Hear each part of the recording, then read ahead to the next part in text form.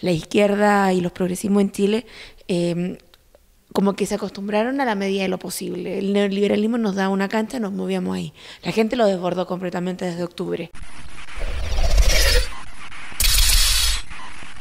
Bueno, primero, muchísimas gracias por, por charlar unos minutos contigo. Eh, a ver, veníamos diciendo en algunas entrevistas que Chile tenía un funcionamiento casi como showroom del neoliberalismo. Era como la demostración de que supuestamente el neoliberalismo era valioso y podía funcionar correctamente. Eh, lo interesante posiblemente estos, eh, estas protestas tan contundentes, esta movilización popular que desmarcaron, le sacaron ese showroom que no tenía no solo funcionamiento, sino que era todo de mentira, como los showroom, este, y terminó cayéndose gran parte de eso. ¿Cómo analizas este, la situación después de todos estos meses de protestas, con niveles de violencia eh, policial y gubernamental muy contundentes? Digo, pero ¿cómo analizas la democracia neoliberal en Chile? A ver, lo que pasa, creo que un poco lo que comentábamos ayer, la caída de los socialismos reales hizo que los sectores de izquierda y progresista, una, eh, como una resignación a no proyectar un proyecto país, sino como lidiar un poco con lo que había, o bien solo tomar lo que nosotros definimos como la estética de la derrota. Sentirnos muy bien porque estamos emplazando, pero no estamos proponiendo nada distinto. Y nos sentíamos muy bien porque perdimos con nuestros ideales. En ese sentido, eh, creo que estas últimas manifestaciones desde de octubre en adelante lo que hacen es decir que en realidad el neoliberalismo es completamente dicotómico con, con la democracia, eh, porque solo se avalaba y se resentía un sistema más bien de abuso, la ciudadanía lo fue acumulando, la gente lo fue acumulando, el abuso, el maltrato, Em, y la democracia ya no daba más como un sistema solo de representación, de escoger, de la alternancia, que eran los valores principales que defendía el neoliberalismo en el sistema democrático. Eh, la alternancia del poder más que la construcción de proyectos políticos y de garantía de derechos. Entonces, en, ese, en esa fase creo que la izquierda y los progresismos en Chile eh, como que se acostumbraron a la medida de lo posible. El neoliberalismo nos da una cancha, nos movíamos ahí. La gente lo desbordó completamente desde octubre. Y yo creo que corre completamente esos límites eh, de lo posible y se cuestiona la democracia y se cuestiona que el sistema de salud no es democrático, que la televisión y los medios no son democráticos, que, no se, que la banca no es democrática, cosas que eran paradigmas eh, que le habíamos permitido a la derecha, eh, económica, cultural también, eh, a, ganarse esos conceptos. La izquierda no era democrática, la izquierda no promueve la libertad, la izquierda o los progresismos no, eh, no promueven los derechos, sino que eh, lo quieren todo gratis, que era como siempre se nos decía. Y hoy día realmente es como nosotros nos hacemos cargo de ese desbordamiento, pero no para atribuirnos la movilización social que hoy día vive el país, sino como más bien generar los canales para que ese desbordamiento social, político, de los límites que nos tenía impuesto el neoliberalismo instalado desde la dictadura, que era cívico y militar, eh, tengan un sistema de impugnación a la estructura y que podamos ir hoy día cambiando en otro sentido la democracia, no como sistema de representación, sino como un nuevo significante eh, como sistema de derecho. Permitimos que tras la caída de los socialismos reales, eh, justo en el periodo que Chile entra a una transición democrática pactada, eh, entregar la democracia como un significante vacío y dejamos que ellos les pusieran los significantes. Y hoy día esos significantes son los que la ciudadanía cuestionó, esas verdades de la transición de la élite eh, la cuestiona. Y hoy día lo que creo que es lo mejor como escenario político es que la gente no quiere dejar exclusivamente a una élite gobernando como es lo que pasó con la transición pactada, sino que quiere ser la protagonista.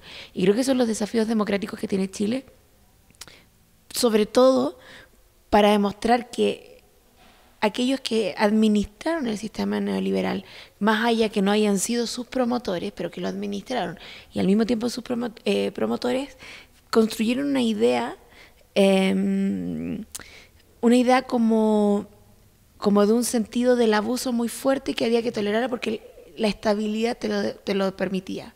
Por eso Piñera, el presidente Piñera, días antes, eh, dice Chile es un oasis frente a la región.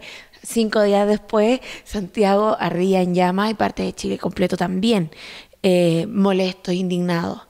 Pero ese nivel de abuso que logra instalar el neoliberalismo fue tanto más allá de sus esquemas que generó un antídoto eh, que también lo desborda y ese antídoto que genera es una necesidad de sobrevivir al neoliberalismo, que en realidad nos está matando. En ese sentido, digo, así como se vieron las protestas populares, se vio un intento, al parecer gubernamental, como de enmarcar constantemente dentro de algún tipo de cubículo lo que sucedía ahí, brutalmente con la represión o inclusive con algunas medidas eh, como de intento de enmarcar la protesta en un lugar. Eh, ¿Cuál es tu lectura? Pensando en estos términos de democracia, neoliberalismo, de construcción de formas de representatividad más potente, ¿cuál es tu lectura hacia el referéndum? Digo, ¿qué posibilidad concreta hay de que un cambio constitucional se dé, que realmente sea representativo y que no quede licuado en estas lógicas de encuadrar un lugar más chiquitito? Sí, es paradójico porque hay sectores es curioso porque hay sectores de la izquierda y de los progresismos que rechazan este proceso de referendo.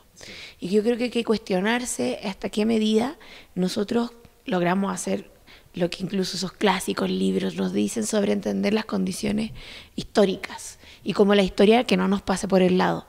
Em, creo que este desbordamiento no es un desbordamiento incipiente de la izquierda, creo que este es, es un desbordamiento completamente popular que eh, tiene más sentidos comunes eh, de disputa contrahegemónica que los mismos sectores de la izquierda. Creo que yo creo que en el caso chileno hoy día va a significar, al menos para todo el siglo, un momento de análisis mucho más profundo en que eh, la ciudadanía se siente más partícipe, sin mirar, y que es lo complejo que nos tenemos que cuestionar desde la izquierda y desde el progresismo, por qué la izquierda no, no estaba haciendo la alternativa.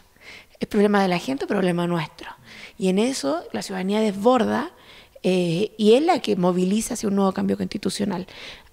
Por cierto, el aprobar que se dé la, causa eh, fue una decisión política parte del sistema. Pero sin embargo te abrió la posibilidad de cambiarlo. La ciudadanía mayoritariamente eh, aprueba tanto el acuerdo como, como el plebiscito. Es muy probable, las últimas instancias de investigación establecen que al menos el 72%, hasta el 78% quiere votar y va a votar una nueva constitución. Cuando eso pasa y tú todavía estás eh, en el enfado de por qué no lo hizo la gente, eh, como por qué lo hicieron los, los, los partidos políticos y no la gente, es que ahí eh, es como mirar en menos el nivel de movilización subterránea que había. Entonces, acá hay que poner atención en que las izquierdas no podemos pensar que las soluciones políticas van a ser propios los deseos desde las izquierdas, sino que el sentido común popular es el que te va a marcar el horizonte, cómo te tienes que mover y cuál es tu decisión política como actor político. La izquierda no puede abandonar nunca más en Chile hacer política y encerrarse a decir, no, esto no nos parece bien porque no hubiese gustado que fuese de otra manera. El pueblo de Chile le votó a Piñera. Eh, no podemos hoy día culpar al pueblo chileno por haber votado a, la, a Piñera. ¿Por qué no fuimos la mejor alternativa para el pueblo chileno nosotras y nosotros? Entonces, ¿por qué hoy día la ciudadanía también dice voto a prueba y además dice quiero ser constituyente? Por cierto, todas las condiciones son mejorables y tenemos que cuestionarlas y criticarlas e, impugnarlas, que creo que es lo que hay que hacer con, el acuerdo del 15 de noviembre. Pero eso no quiere decir que hay que ir a disputar ese, acuerdo, que hay que disputar el proceso constituyente, que hay que ganarlo por sobre todo. No era disputarlo para decir, no, yo puse todas mis banderas y, y perdí, pero las puse cuando tú sabes que el otro no te las va a ganar o no te las va a entregar. Había incluso un, un comediante chileno que decía, eh, el proceso constituyente que se abrió es como, a la izquierda le molesta, es como si eh, la República de Star Wars, vaya que lo lleva esa, esa caricatura, es como si eh, la Estrella de la Muerte entregara todas las condiciones para que sea autodestruida y no pelea. Entonces, pensar que no va a haber disputa y que vamos a ganar un nuevo Chile porque la izquierda lo quiere, me parece un profundo error. Y eso yo creo que hay que aprender un poco de estos saberes colectivos, estos saberes populares que dicen, bueno, nos abrieron la puerta, metámonos con todo y, y, ganemos. Y yo creo que esa es la fase que hoy día nos toca. Por eso hoy día, incluso aquellos que no querían el acuerdo están por el acuerdo y están llamando a votar. Entonces nos tenemos que también cuestionar la democracia y ser más autocríticos, menos complacientes y más ponerle eh, oreja, eh, cuerpo y, y abrazos a lo que está diciendo la ciudadanía en Chile. ¿Nos quieren decir que somos violentos?